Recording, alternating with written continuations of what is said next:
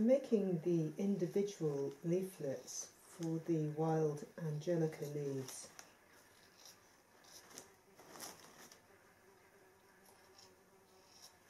To create a more three-dimensional impression, I changed the angle of weave of the fabric on each half of each leaf so that one half will bright and shiny while the other retreats into the background.